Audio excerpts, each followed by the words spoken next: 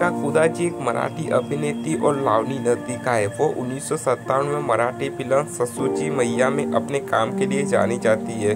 सुरेखा कुदाची का जन्म 17 जुलाई को मुंबई में हुआ था। उनकी राशि कक है। सुरेखा के पिता का नाम कुदाची सीतापा है, जो एक सेवानिवृत्ति भारतीय सेना अधिकारी है। एक बहन है, जिसका नाम सोनी कुदाची है।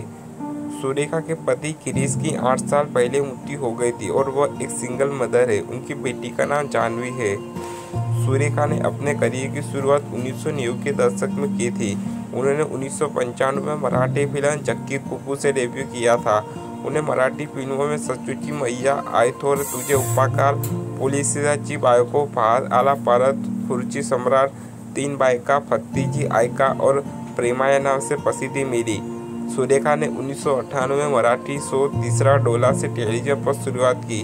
उनके कुछ प्रसिद्ध मराठी धारावाहिक नवरी मिले नवरयाला, स्वाभिमान शोध अस्त्रा, रुणाजी आदि है।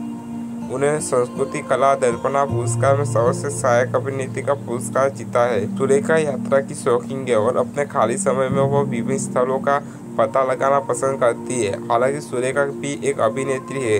लेकिन वह अपने लावानी नृत्य प्रदर्शन के लिए जानी जाती है और उन्होंने कई मराठी टीवी शो में प्रदर्शन किया है। सुरेखा एक एक्ट्रेस और डांसर होने के साथ साथ एक उगमी भी है और 2020 में उन्होंने नाम के बीतने का नया बिज़नेस शुरू किया है।